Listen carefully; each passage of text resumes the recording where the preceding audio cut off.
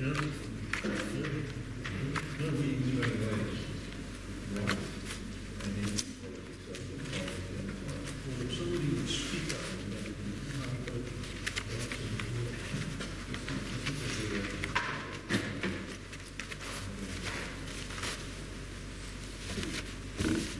I guess we could.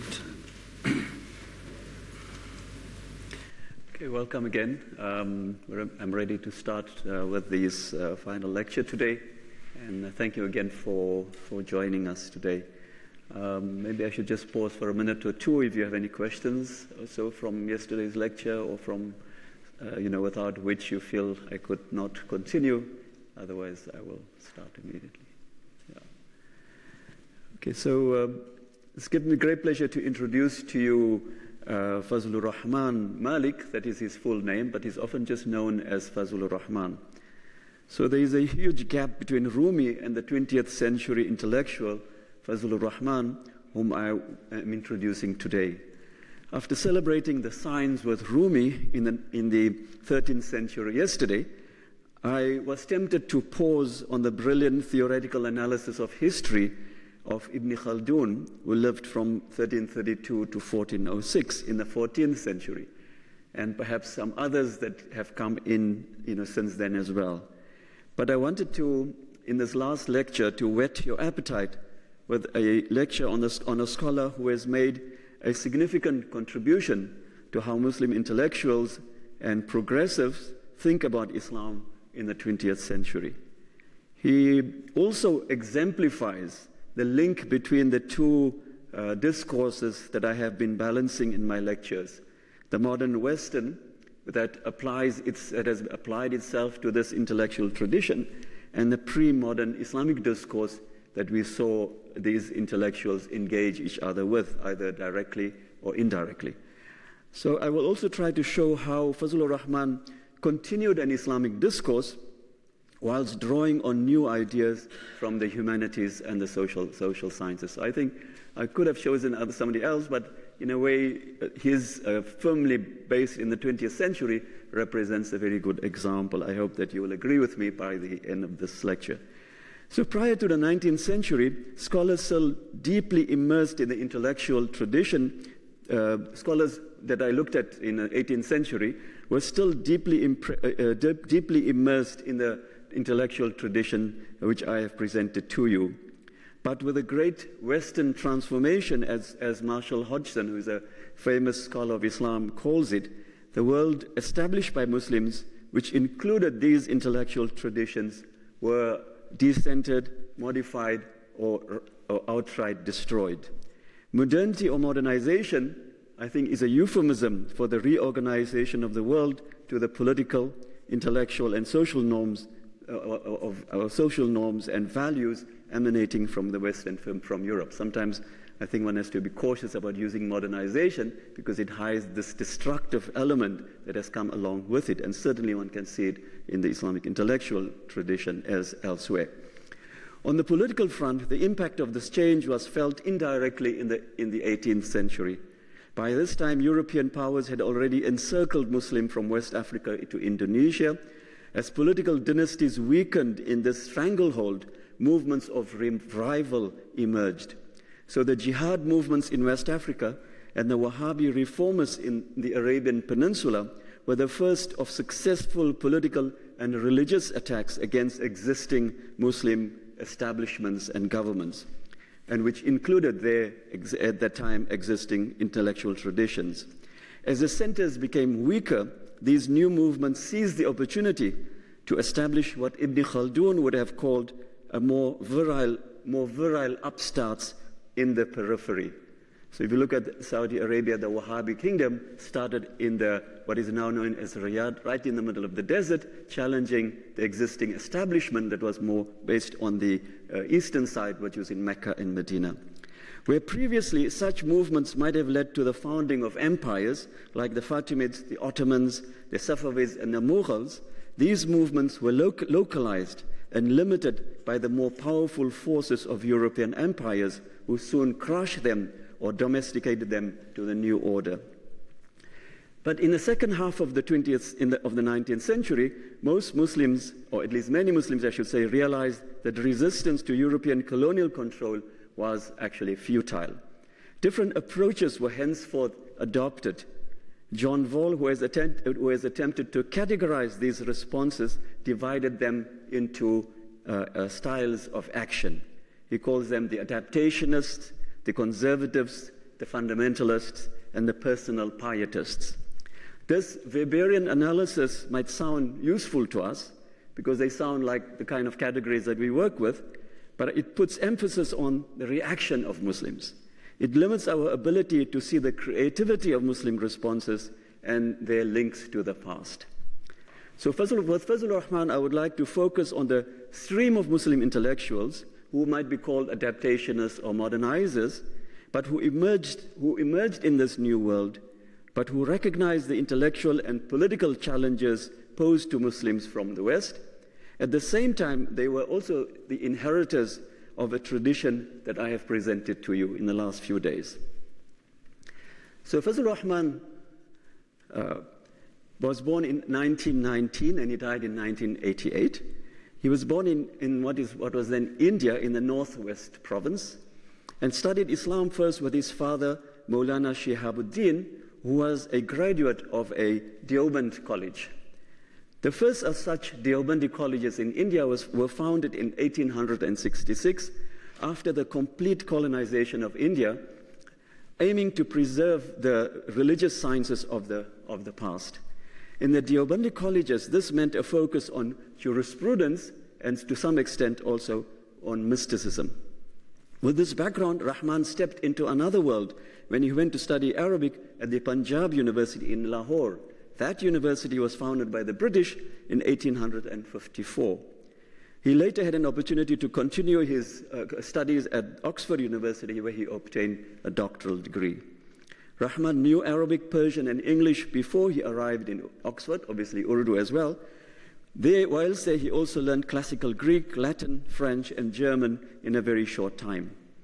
For his PhD dissertation, Rahman produced an annotated translation and a commentary on Ibn Sina's book of Kitab al-Najat, the book of salvation. Rahman taught at Durham and McGill in England and Canada, respectively, until 1961, when he was invited to return to Pakistan. Uh, from 1963 to 1968, he served as a director of the Central Institute for Islamic Research and also took a seat on a government body called the Islamic Ideology Council. General Ayub Khan at the time permitted him to gather some of the leading Muslim intellectuals to make some policy recommendations for this post colonial state of Pakistan. Rahman and his colleagues reflected on the major issues facing the state, but also engaged in public debates on immediate issues that the state wanted to introduce, like the permissibility of interest, uh, the uh, issue of mechanical slaughter, and family planning, all sort of famous modern issues if one can recognize them. In each case, Rahman found that the issue became embroiled in political rivalry among groups who tried to make a claim on public life in Pakistan. He believed that there was, in, the, in these debates, there was more politics than, and there was hardly, and I quote him, with hardly any, there was hardly any Islamic content. Rahman was hardly equipped to deal with these public debates. When uh, Naqvi writes, wrote, wrote, an obituary of his, he related this interesting story about him and his relationship with the Field Marshal Ayub Khan. Naqvi says that the Field Marshal Ayub Khan, in the later days of his regime, asked, asked Dr. Fazlur Rahman to write a book on the ideology of Islam.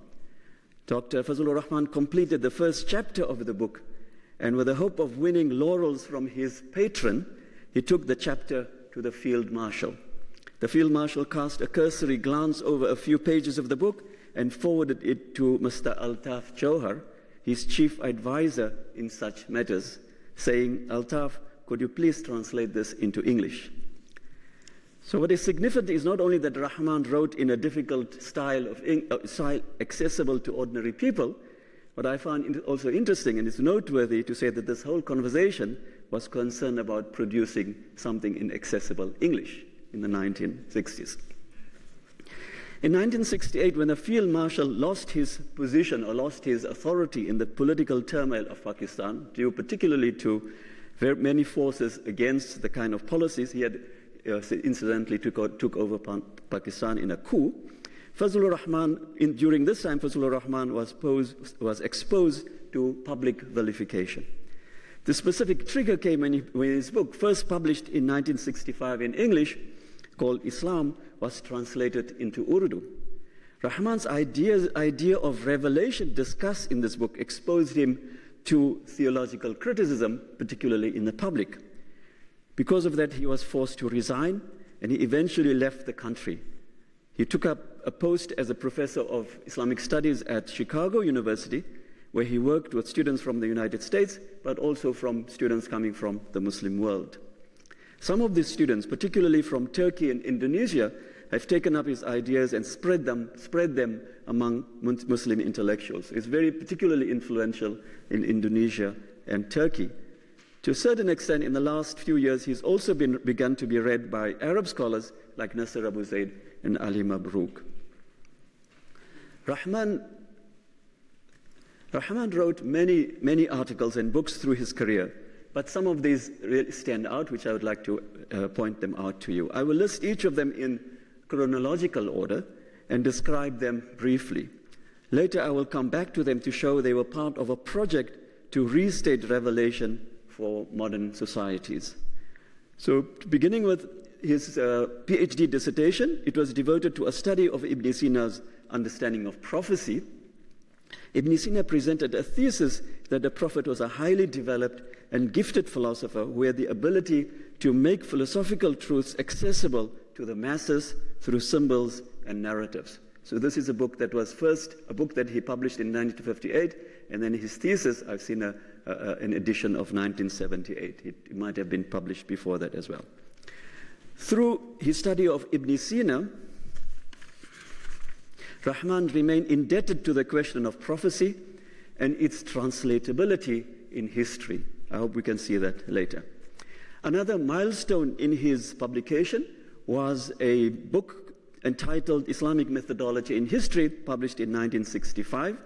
As the name indicates, the book presented the method used by the early scholars to develop jurisprudence, Sharia or fiqh. This is a book that takes on board modern historical criticism of hadith as developed by Goldziher and Schacht, which we heard about, if you still remember, on Monday. But eh, Rahman, through this modern reading, Rahman tried to recover a method that predated the work of Shafi, where he, where he, which he called a living sunnah, uh, was used to arrive at values. Unlike his Western interlocutors, who believed that the hadith were completely in, invented, Rahman believed or argued that the idea of following the Prophet, the prophetic model, was not invented but by Shafi'i, but changed by him. Around the same time, Rahman published a book called Islam in 1965 that was translated into Urdu and got him into trouble, as I said. In this book and some of, some of his articles, Rahman proposed a theory of prophecy which was inspired by his reading of Muslim philosophy and modern historical studies. Rahman argued for a more organic relationship between the context of Arabia, divine inspiration, and the personality of the Prophet. This was a reworking, I believe, of Ibn Sina's theory of prophecy, bringing on board hermeneutical and historical ideas that he developed from modern from his exposure to Western studies. In 1979 1980, Rahman wrote a book called, called Major Themes of the Quran.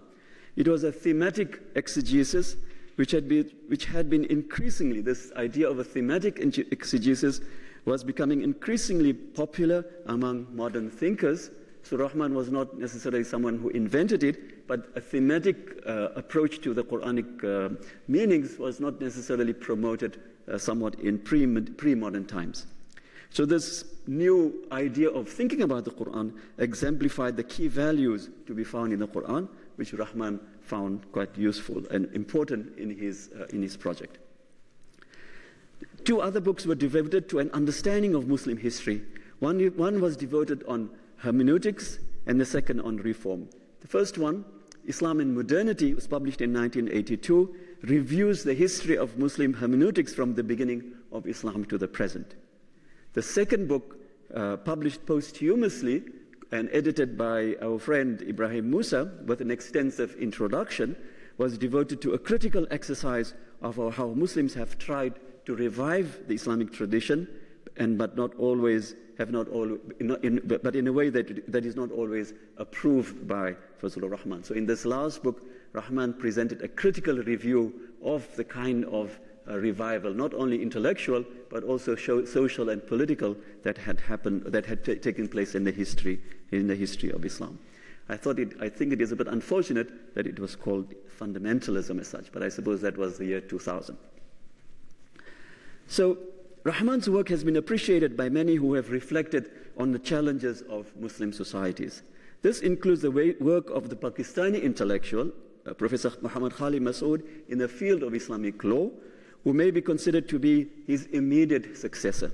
Masood has developed further some of the key ideas of Rahman on the values that underpin jurisprudence, and particularly also their social construction over the centuries. Recently, I invited him to come and give a few lectures of his ideas. In Western academia, Rahman is invariably categorized as a modernist or adaptationist in the way suggested by Voll. I have found one review of Rahman's book by Schacht which says that it offers nothing to the development of historical scholarship, but was rather preoccupied with the pragmatic purpose of persuading traditional scholarship that may be, adopt, that may be adopted in, in the new state or in the new Muslim societies. In my review of religious studies scholars working in Islam, I have found, no, no, I have found very little appreciation for his intellectual labor. Such concern is quite interesting given the West's great interest in Muslim intellectuals of the past. I can keep that for comment for a bit later. Among Muslims, it would come as no surprise to, to find polemics against Fazlur Rahman. The key part of their criticisms comes from the framework of Western scholarship on Islam. So the general view is that Rahman, like other modernists, or at least like others like him, can be called modernists who, and who slavishly followed Western modernity. A prominent scholar in Pakistan, oh, sorry, I've got it wrong again. sorry. Okay, just listen to me then. Um, a prominent scholar in Pakistan who has become famous for his promotion of Islamic finance represents one such criticism of Rahman and others like him. His name is Mufti Taqi Usmani, and he's written a book called uh, Modernism. He calls it Jiddat Pasandi, which means those people who love the West. Who says, and it says that modernists like Rahman were busy dismantling the rules of Islam while doing nothing about exploiting the benefits that Western modernism had to offer Muslims. Muslims are writing in 1999 he says that Muslims are deprived of the amenities and comforts that modern time has provided to humanity, and the evils of modernism a, are, uh, are at liberty to prevail in our society with no check from our side. Rahman, as head of the research center in the 1960s, was singled out for this criticism in a book written in 1990s. Usmani, as the promoter of Islamic finance, had presumably a particular understanding of these benefits that he says were rejected by Rahman. For Rahman, the value of political and social justice, as I will show, was central, was central to his reading of the Quran and its necessity for Pakistan in the 1960s. Those who have looked more closely at his work have seen a faithfulness to, to, to Fazlur Rahman in the tradition. So, unlike Taqi Usmani, people who have looked a little bit more closely at the work see that Rahman has still worked within the tradition. So, I'd like to share a few idea, a few thoughts uh, uh, with you on those. Uh, Basit Koshul from Pakistan argues that Rahman emphasized the value of ijtihad. Uh, uh, as you may recall, this is independent reasoning in Islamic law for a particular historical context. According to Koshul, Rahman lamented the fact that ijtihad was not always followed in a systematic way in the past. It was abandoned too early and replaced with imitation.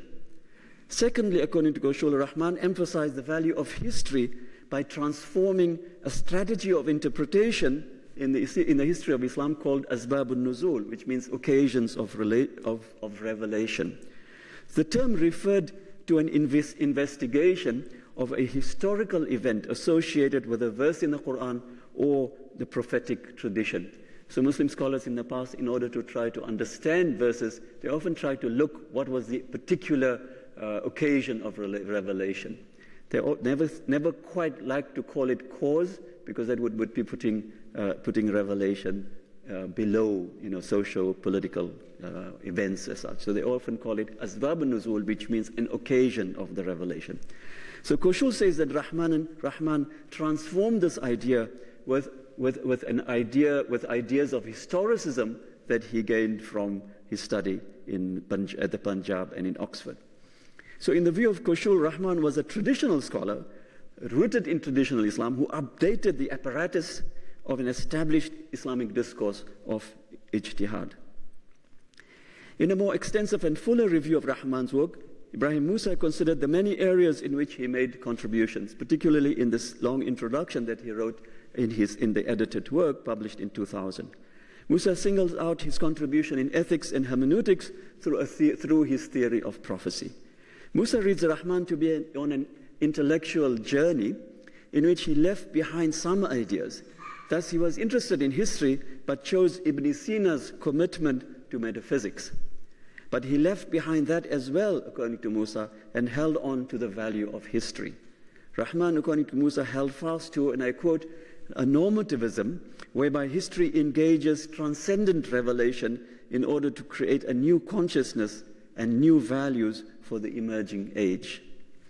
But Moosa concludes with a concern shared by most Muslims that, that, that in the presence of an ascendant West, and I quote again, a single dominant perspective of civilization is gradually overtaking our contemporary world, driven by globalizing and homogenizing cultural technological, scientific, and humanistic forces. End of quote. I'm wondering if Moosa was unconsciously or maybe has consciously feeling that about Rahman as well. Did Rahman, according to Moosa, give up too much to this new world?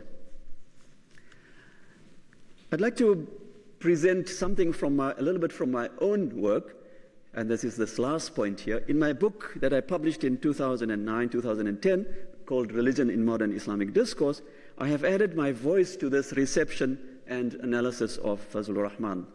There I suggested that one should re examine the tendency to think about Muslim intellectuals as reactionary responses to challenges coming from the West.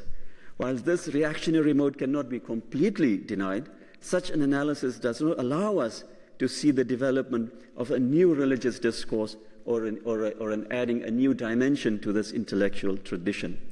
I undertook a close reading of the intellectuals from the 19th century and followed their ideas and that of their successors in the 20th century in this book I'm meaning.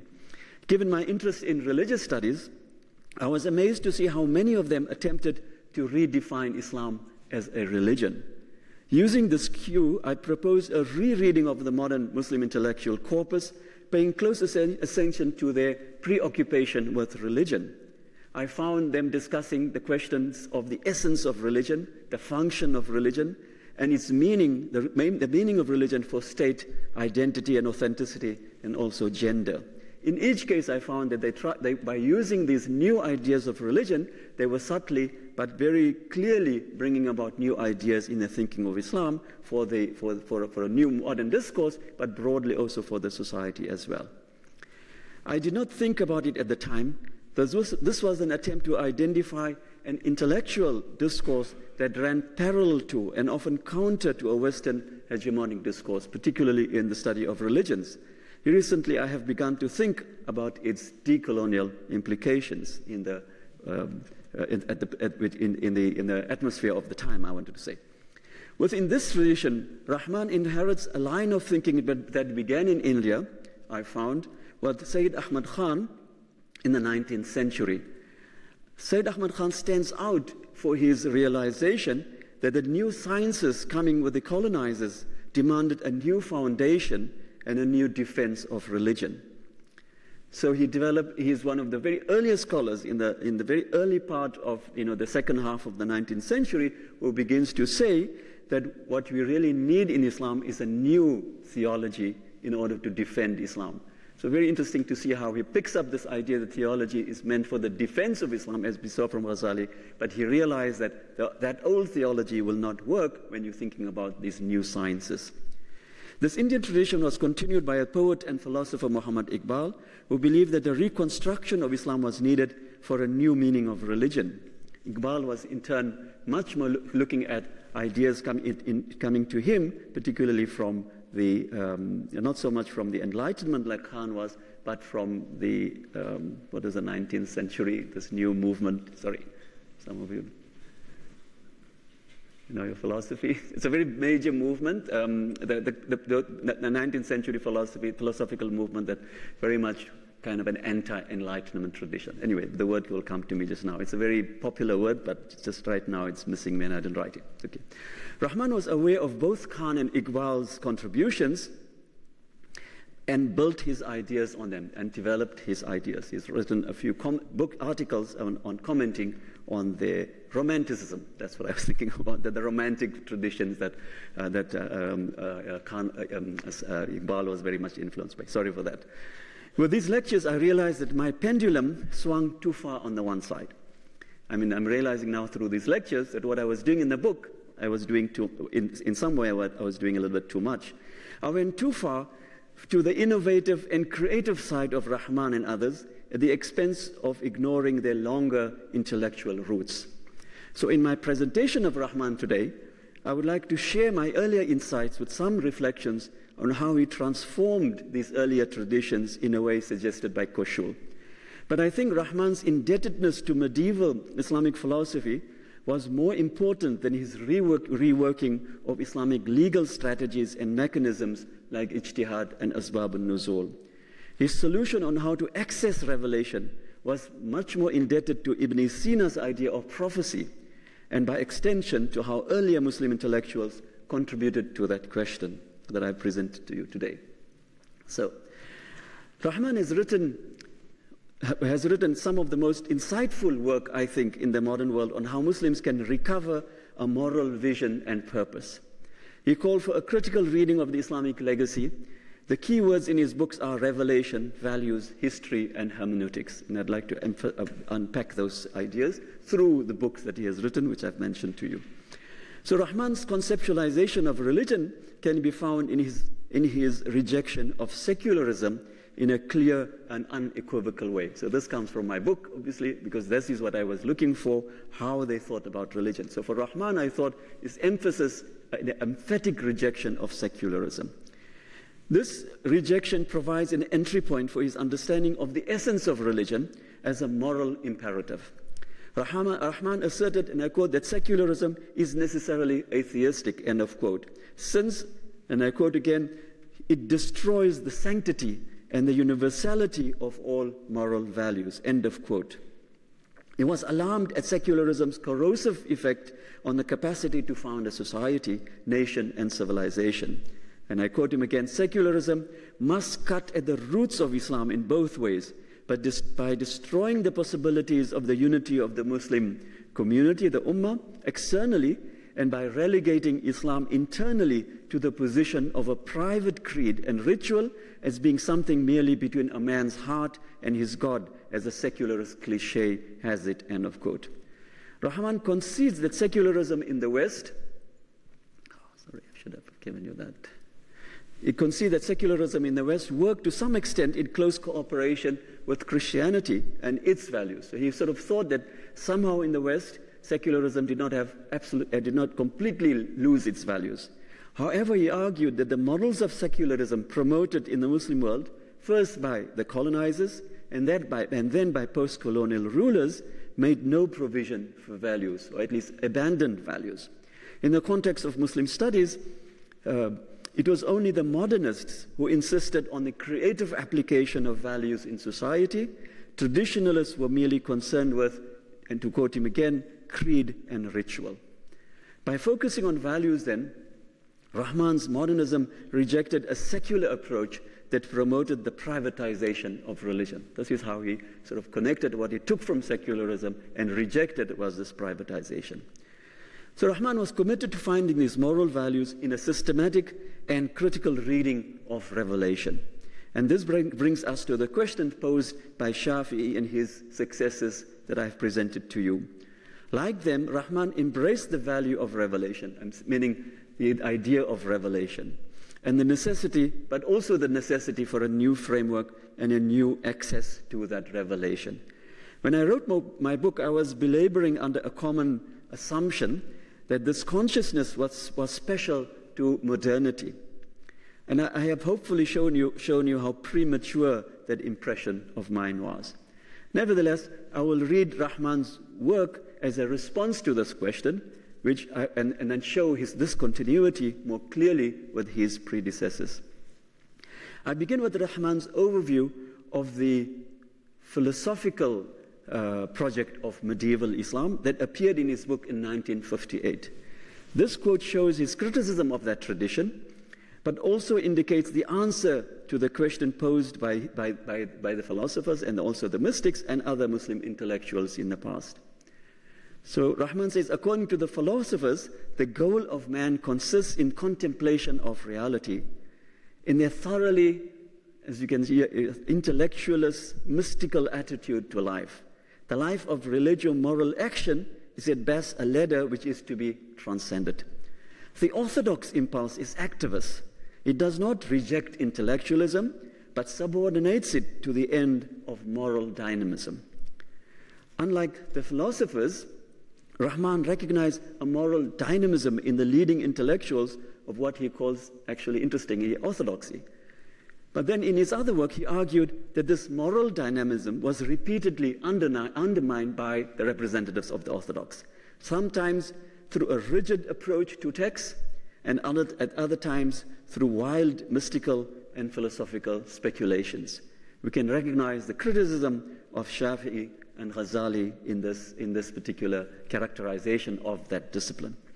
So Rahman said that were, the, the, the orthodoxy of Islam is moral dynamism, but it was actually uh, ignored by the intellect philosophers, but, but actually misplaced by the, by the Orthodox, Orthodox representatives. Rahman found a moral purpose and dynamism directly in the life of the Prophet Muhammad and in the Quran, which were intimately connected with each other in his view. The Quran exuded key values, and the Prophet enacted them and lived them. This sounds you must, you must probably, you must say as traditional as it comes. But one has to look closer at his work to recognize a new, a new answer to an old framework. So, what does it, with regard to the Quran, therefore, what, is, what, what do we mean? What does the Rahman mean by revelation? What is his understanding of revelation? And how do you access this? This is my perennial question that I've been coming back to. So, with regard to the Quran, Rahman offers a hermeneutic that leads to the discovery of moral imperatives. His major themes in the Quran, the book called Major Themes in the Quran, enumerates these values in a very careful and a systematic way. He was aware of criticism that may be leveled against his reading of the Quran.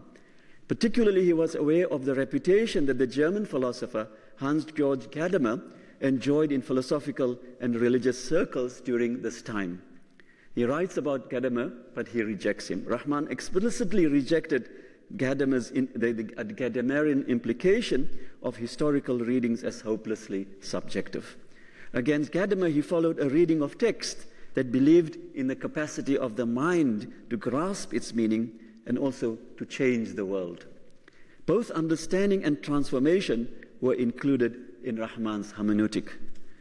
According to Rahman, however, the text could not be read outside history. So he didn't take a complete idealist position.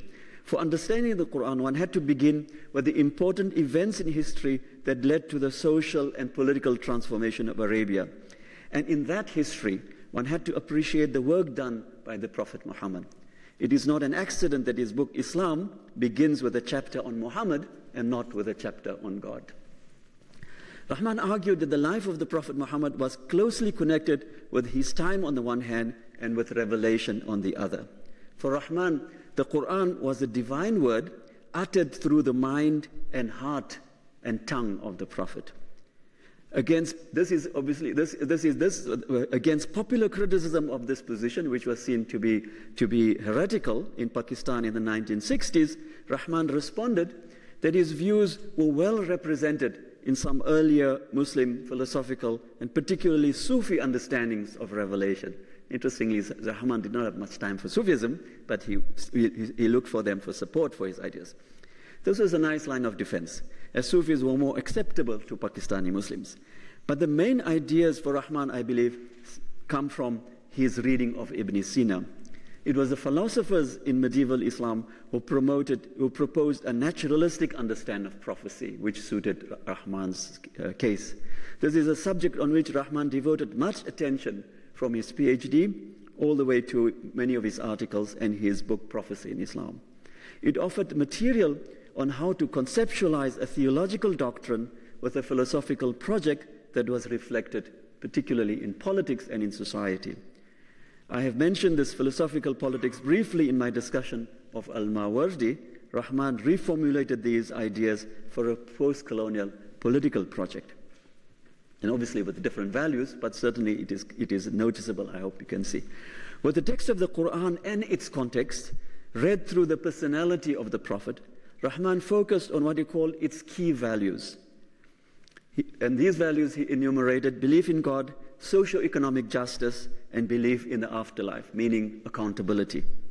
From this experience, Islam, for, according to Rahman, offered two valuable princip- principles for the modern world individual conscience and a balanced community for humankind. Balanced community of justice, maybe I should add.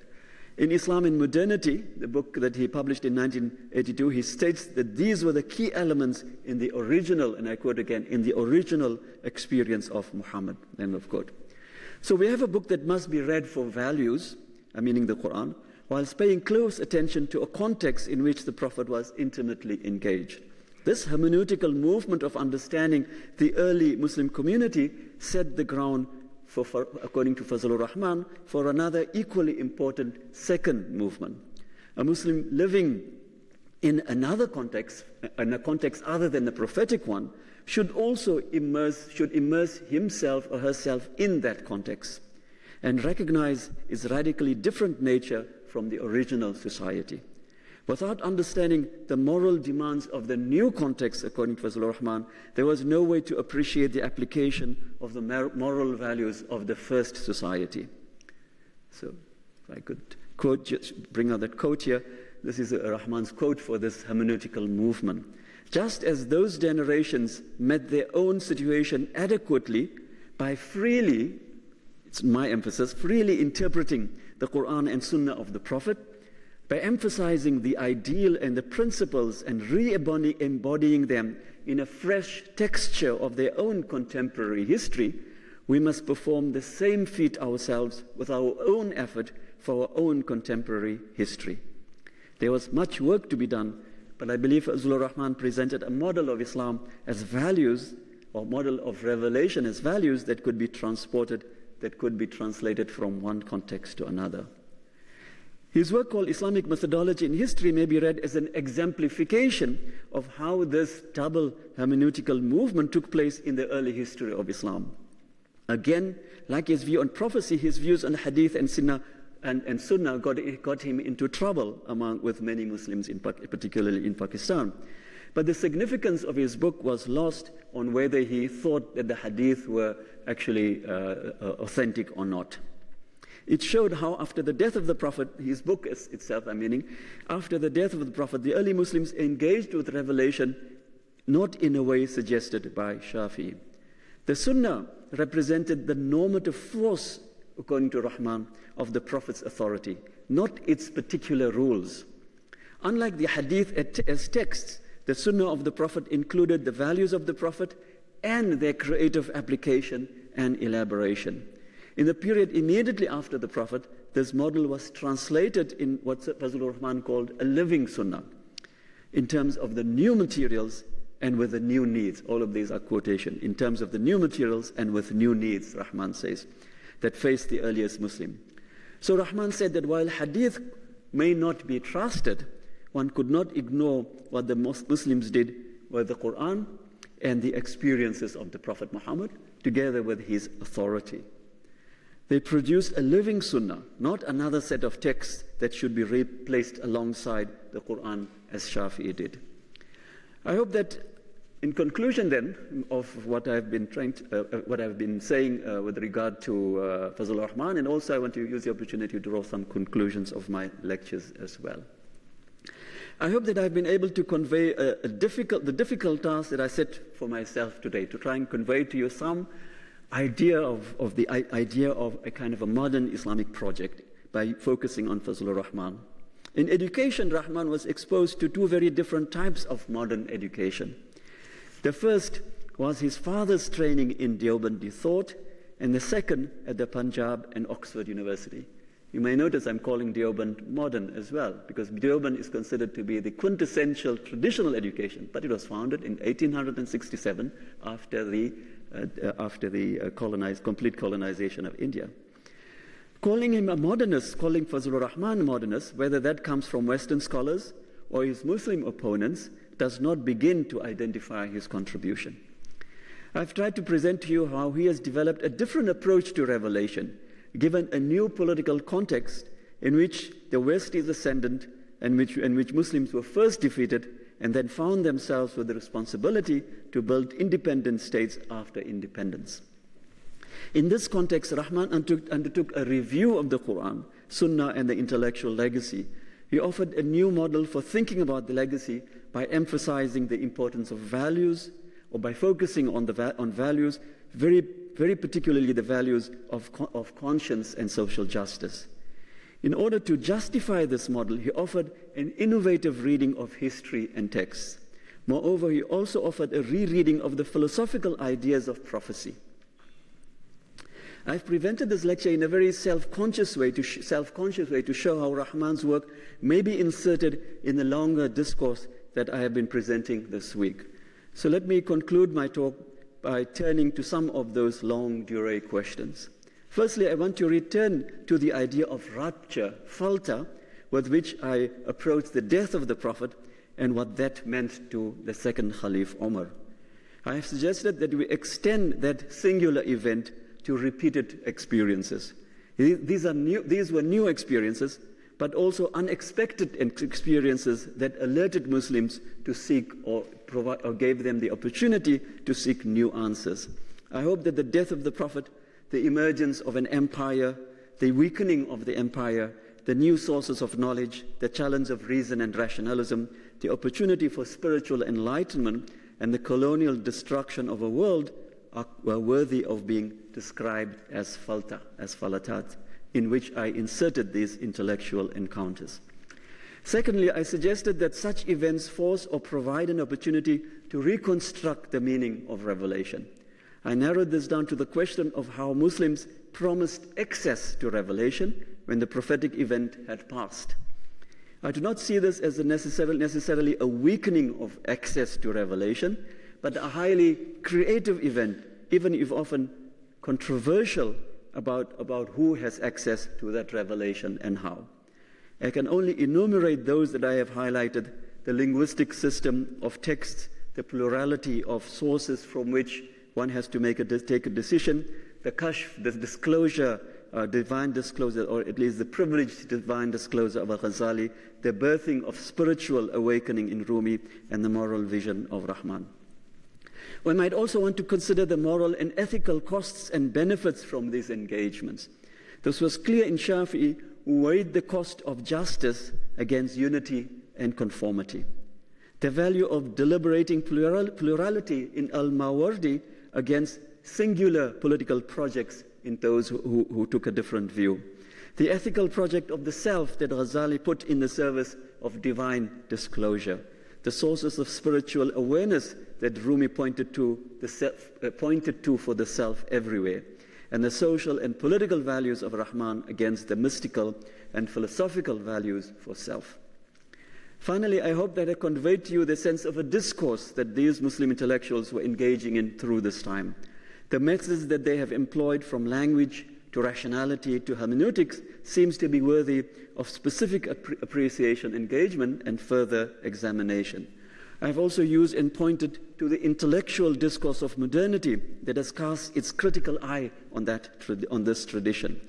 I have benefited uh, significantly from this Western, what I would call Western intellectual tradition, but I've often found that it fails to appreciate the intellectual labor of those to whom it has subjected to study. That I hope that I have, in contrast, sufficiently brought to life this discourse that remains fairly dormant still in that tradition. I thank you, last but not least, for being an inspiring audience. Thank you.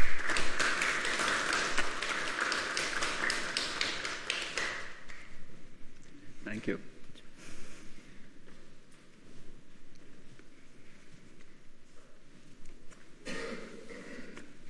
Yes, please.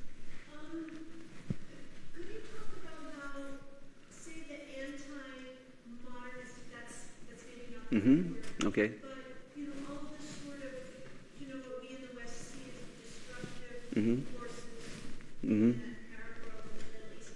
Is, can you, is there a sort of countering intellectual tradition, or is it just sort of reactionary without really having a sort of intellectual basis? Yeah, okay. That's, uh, that's a long question. That's a big question. yeah. Um, I would say both. It is a reaction. It is a very strong reaction against so, so many things. I think probably most importantly, it is a reaction against what, um, what the West does in the Middle East. So I think that's something that one often tends to ignore, um, es- es- especially when one looks at what has happened over the last 20 or 30 years. There has been such a destruction of the societies, and therefore people are turning to a very uh, kind of authenticity, an authentic self as such, with which they find either in this Deobandi tradition, which I spoke about, which promises them kind of a, a, a, a that you, you, all you can do is benefit from the West, but you don't necessarily need to really engage with what it has to do. But you also don't need to engage with your own tradition. That's the one. That's probably the majority that does that. On the other hand, oh, during the last, since the, the emergence of particularly the, uh, the, uh, the, the, the, war against, uh, starting with the war against Iran and then against Iraq and then uh, Libya and all of these countries as such, the amount of the, the, the, level of destruction that has, that, has, that has been visited on these societies force, has forced people to actually turn to an intellectual tradition and that is, an, that is, on the one hand, is a political movement of destruction, like you know, but it is also, a, it is also drawing on intellectual tradition that actually belongs to the past. So this is the people, people of Qaeda, for example, know how to read people like Abu Ya'la al-Ibrahim al-Farra, that the person that I uh, quoted, you know, against al-Mawardi, or perhaps Ashafi, or these political ideas. So they want to recover the whole political project. So that is what, what is actually coming. So I would, I would think that they, that intellectual tradition, it is an intellectual tradition, but there's also a very strong reactionary political movement as such.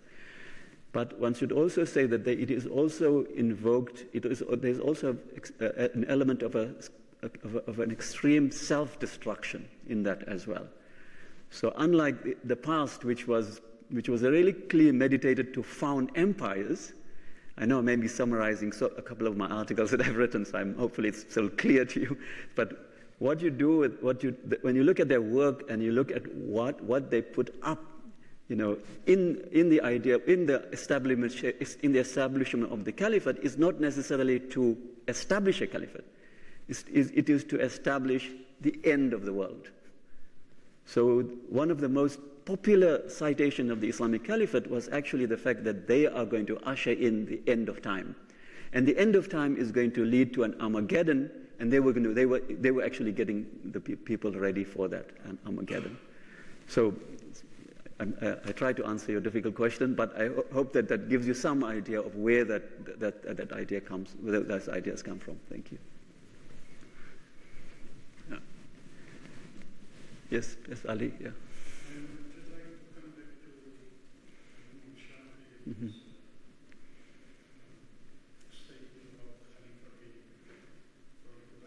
Mm-hmm. Yes. The fact that this is he uses this because he uses it as a hadith, and uh, then we find that in the Quran Allah says that the best of you, not Mm-hmm.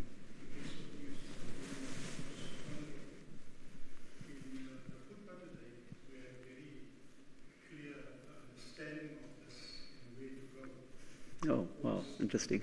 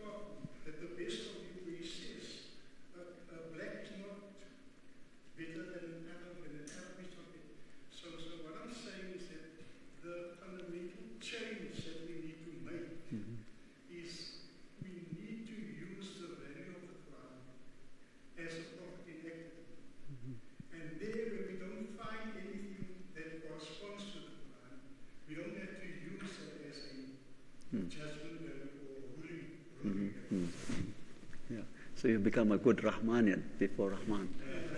okay.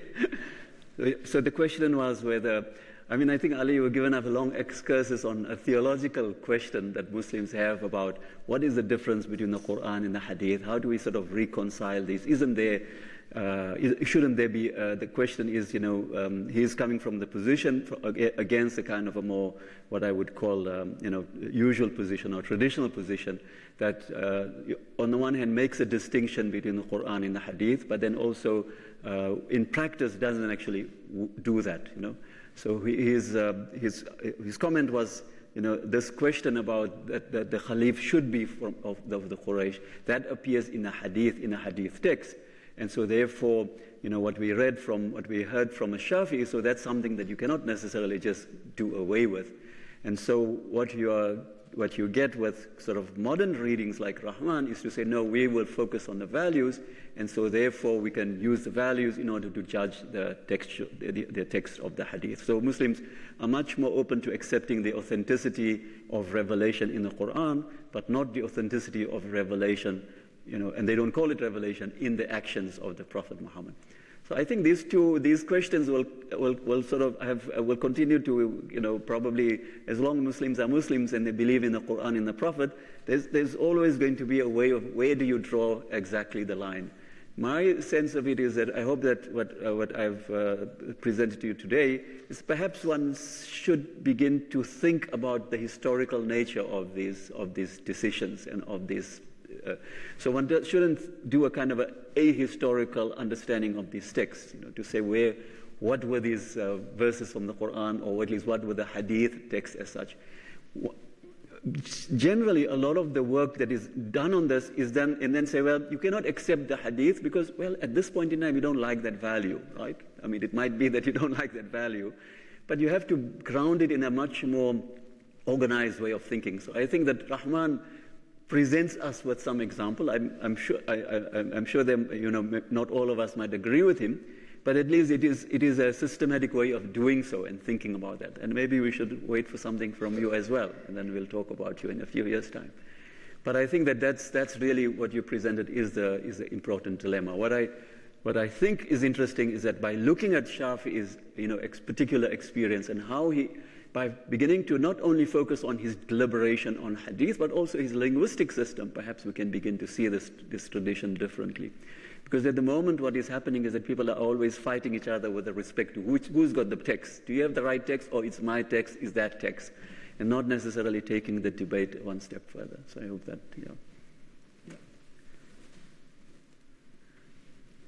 Yes.